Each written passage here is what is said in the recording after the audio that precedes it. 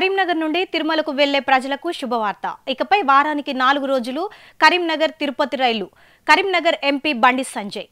ఢిల్లీలో కేంద్ర రైల్వే శాఖ మంత్రి శ్రీ అశ్విని వైష్ణవ్ని కలిసి ఎంపీ బండి సంజయ్ కరీంనగర్ నుంచి తిరుమల తిరుపతి వెంకటేశ్వర స్వామిని దర్శించుకునే భక్తులు పడుతున్న ఇబ్బందులతో పాటు ఇతర రైల్వే సంబంధిత సమస్యలను వారి దృష్టికి తీసుకెళ్ళగా స్పందించిన రైల్వే మంత్రి కరీంనగర్ తిరుపతి మధ్య రెండు రోజులు నడుస్తున్న రైళ్ళు.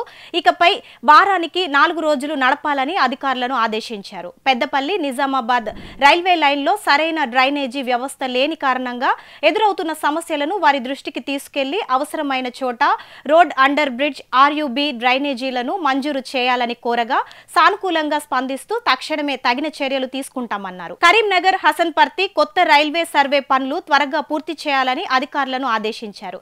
జమ్మికుంట రైల్వే స్టేషన్ వద్ద Telangana express Danapur express Navjeevan express Gorakhpur ఎక్స్ప్రెస్తో పాటు మరిన్ని రైళ్ళకు హాల్ట్ కల్పించే అంశాన్ని పరిశీలిస్తానని హామీ ఇచ్చారు.